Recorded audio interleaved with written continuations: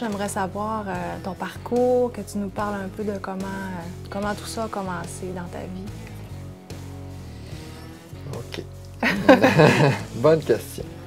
Ben, ça a commencé euh, bien jeune. Je pense qu'avec. je pense que ben. J'allais au cégep, pas, au cégep, mais au séminaire. Puis le séminaire est relié au cégep. Puis il y avait des, des ateliers de poterie au cégep qui se donnaient. Des fois, on allait des cours d'art plastique, on allait au local de cégep, des cours de poterie. J'aimais l'odeur de la terre, de, de- de- de l'odeur des, euh, des cuissons de poterie. Je trouvais que c'était une matière qui était vraiment spéciale. Puis le un moment donné, j'ai demandé à mon père, il, ne se donnait pas de cours de, poterie dans, nécessairement dans la région. hein. J'ai demandé à mon père de me faire un tour de, d'un tour à poterie. Il m'en a organisé avec euh, une laveuse, un moteur de laveuse, un, un engrenage de laveuse. Puis il tournait toujours à la même vitesse, mais ça allait.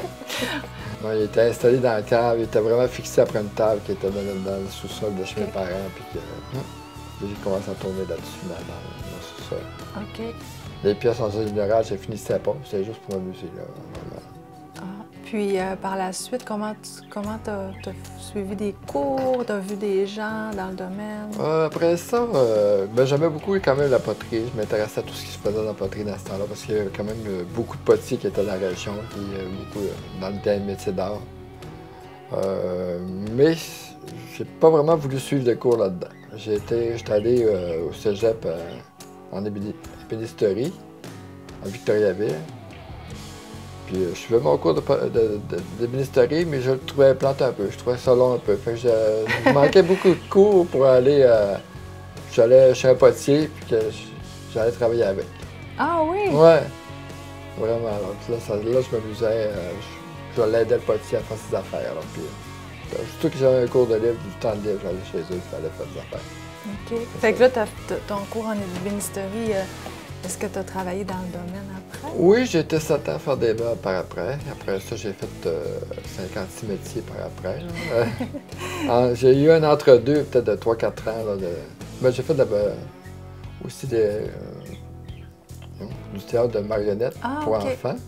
Je faisais la scénographie, puis euh, des décors, puis euh, même des... de- J'étais marionnettiste aussi, quelques années aussi. là. OK. C'est quand que tu as senti le besoin de te d'être euh, le retour aux sources?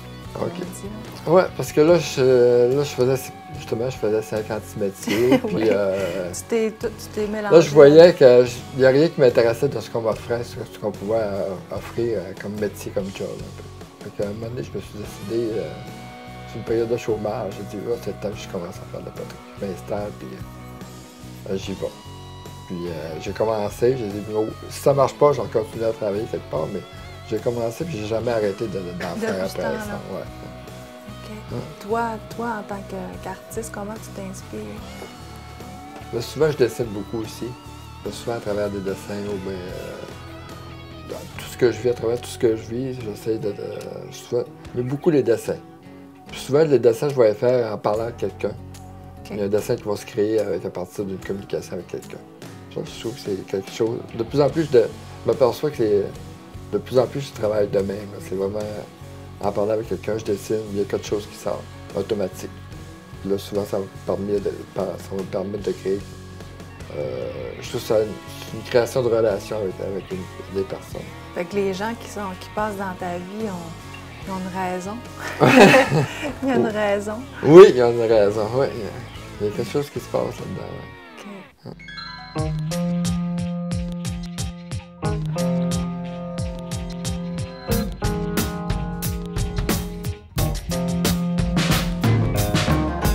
C'est combien de temps la préparation à ça? Euh, normalement, c'est à peu près aussi long, prépar- même peut-être plus long terre que le, le- que Ah tourner. hein.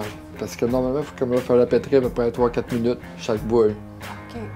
avant de commencer. Mais le pétrissage, c'est quand même beaucoup, ça demande beaucoup d'efforts. Je vais vous montrer un petit peu de démonstration. Comme un peu qu'on qu'on pétrit. Ça, c'est pour enlever les bulles d'air. C'est pour euh, puis mettre la terre aussi homogène en même temps. OK. On est prêt. Fait que là, on, on va, te, on va te voir en train de, de, de nous faire la pièce euh, en question. Ouais, je vais vous tourner une pièce. euh.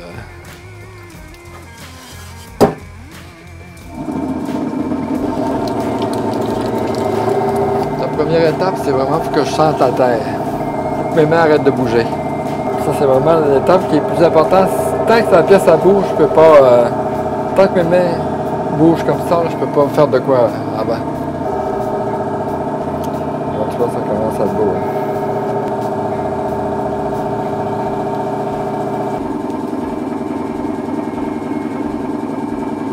En fait, les techniques que tu as apprises, c'est quoi? C'est, euh, y en a-tu plusieurs?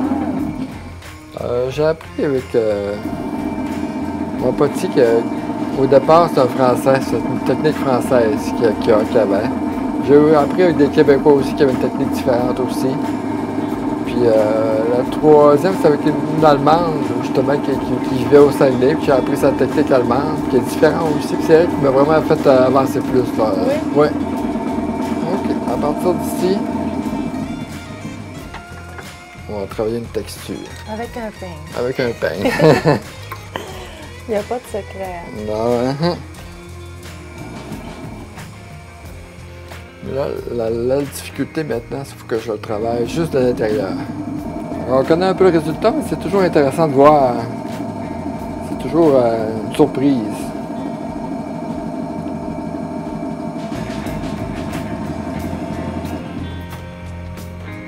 Ouais, ça, ça devrait faire une théière.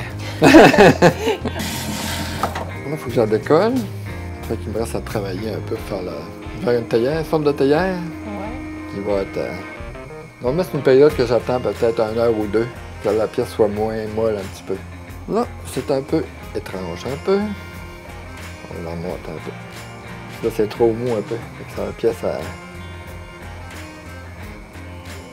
Mais là, juste de même, quand même, ça, ça peut être une forme intéressante. Ouais. Hum. Tiens, on va peut-être la garder de même en attendant un peu. Puis le prince, on va, la- on va la fermer plus tard un peu. Ça donne une idée un peu. Souvent, je, je donne des cours à des élèves, puis là, ils font des pièces tout croche au début, puis ils n'aiment pas ça. Moi, je dis, hey, ta forme est belle. Même si c'est tout croche, c'est beau quand même. Puis tu peux travailler avec la. la... Travailler avec la forme, même si c'est tout. Parce que les pièces unies, on en voit partout. Une forme qui est irrégulière, ça, on n'en voit pas partout. Souvent, le monde, les élèves au début, ils font des pièces tout croches. Mais je garde de même, souvent, ça, puis tu travailles avec la. Il faut faire des, des- des qualités avec les défauts. Mhm. Ça, La perfection est dans l'imperfection. Ouais, à peu près. Ouais, ouais. tu voudrais-tu essayer de faire un petit. Je savais que ça allait venir. ça. bon, c'est à poser des questions. Ça va faire Ah, du tu vas bien. t'asseoir à ma place? Ah, oui! OK, on va essayer.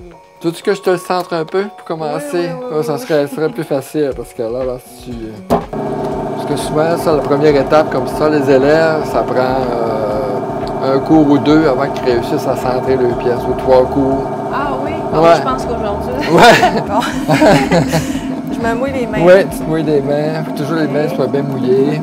Ensuite, Ensuite, euh, en t'appuyant d'une main, tu peux mettre les deux mains, puis tu vas percer un trou au centre. ah, OK. Ça a l'air de fonctionner. Ouais. OK. On creuse-tu longtemps? Euh, je, peux- je vais aller vérifier, où c'est que t'es rendu. Oh, tu peux creuser encore. Là, il y a une petite, euh, Il y a une petite boîte au affaire. centre. ouais. Non, c'est pas normal. facile que ça l'est, c'est sûr. Hein? Oui, parce que ça prend quand même plusieurs années de- d'expérience. hein. Tu peux là, peut-être l'agrandir encore ici. Là, le- Hé, Hey! c'est capoté. Hein? c'est beau, hein? Hein? Il y a un petit truc au milieu. Ah, je sais, ça va être un moule pour faire un soufflé au chocolat. Oh, ok, ah, c'est bon. Hein? Là, j'aimerais ça l'agrandir parce Ouais. que je voudrais faire un plus gros Plus moule. gros un petit peu, ouais. Agrandis-le un peu Fait sur que là, je pèse comme ça. Oui, Ouais, mon Dieu! trop, ouais, oh! ouais, c'est euh, Là, ça ressemble à un... une toupie. euh, Ouais. ouais, ah, une toupie. Ah. euh, ouais. Ah, Oh, t'as failli avoir un beau moule à chocolat. Ouais, hein? Bon.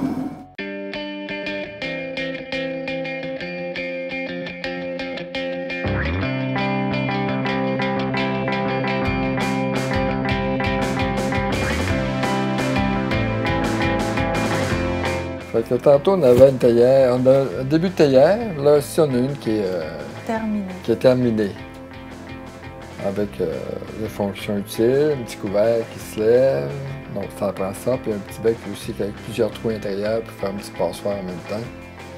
Ça, c'est un nouveau genre un peu que, que de cette année-là. Hum, c'est en train de développer. C'est joli. Mais il reste la couleur à mettre là-dessus? On en voit une qui est finie avec la couleur, mais ça, c'est comme dans mes premières que, que Que j'ai fait. fait? Ouais. Je les ai fait un petit peu plus grosse, que j'ai trouvé peut-être un petit peu. Avec un petit couvert aussi qui a évolué aussi. Ah, C'est normal. hein. Ouais. Tu as changé ton. Ben, t'as- tu l'as grossi, mais tu as changé peut-être aussi la forme. Ouais, je j'ai plus euh, amélioré quand même le design un peu. là, qui était- C'est sûr que ça prend quand même des premières expériences pour. euh, quand on fait une pièce nouvelle, des fois, il faut en faire plusieurs avant de dire voir vraiment qu'est-ce qu'on veut avoir. ton. Ouais, Qu'est-ce que t'aimes toi? Ouais, c'est ça. Hein? Ouais. Ouais. Souvent, ça m'arrive souvent aussi que des fois, je fais des séries de pièces. Puis là, je les aime. Puis là, je regarde par après. Je les aime pas. Fait que là, je les garde pas parce que je sais que si je les aime pas, je, je serai pas capable de les vendre non plus. Ouais. Fait que à ce temps-là, je les élimine, je recommence. Puis... La tête, tant que c'est pas cuit, tant que c'est pas fini, je peux toujours la, la récupérer et refaire des pièces avec. Fait que ça me gêne pas de recommencer. J'aimerais ça que tu me montres qu'est-ce que tu fais. euh. Ça, c'est. Une main de sel. Ça, c'est Ah pour mettre de, la fleur de sel. OK. Ou bien du gros sel pour assaisonner, ça dépend. Euh, je fais aussi des, des casseroles pour faire des cassoulets. C'est un cuisinier euh, français qui m'en commande un petit peu en jonquière que je fais régulièrement. Ensuite, on aura les, euh, les tasses. Les tasses De qui sont toutes les là. grandeurs. Ouais, ça, les tasses, j'aime beaucoup m'amuser avec les, les formats de tasses. C'est un petit peu comme mon échantillonnage d'essai un peu en même temps. De couleurs puis de, de, de formes. Je m'amuse beaucoup avec les tasses. Ça, c'est nouveau? Oui, ça c'est nouveau. OK. Ça, c'est un vasque euh, pour la salle de bain qui est. C'est vraiment super. Les Par exemple, ça prend combien de temps à faire une pièce comme ça? Euh, ça, ça prend quand même plusieurs années d'expérience. Ah oui? Parce que tu peux pas faire ça réaliser ça du. euh, comme moi, tourner, c'est quand même. euh, plus tu grossis, plus ça devient difficile, plus ça devient. Euh, euh, faut devenir de plus en plus professionnel. Parce que le tournage, depuis 25 ans que je tourne, même à chaque année, il y a, des différences dans mon tournage. Il y a toujours de en c'est quelque chose qui se développe tout le temps.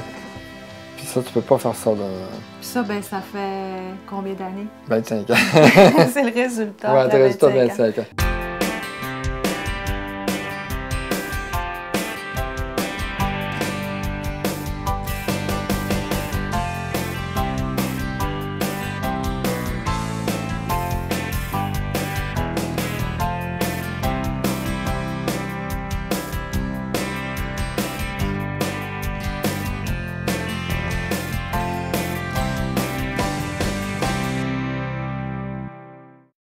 Pneu Ergué, fier partenaire de la route des artisans.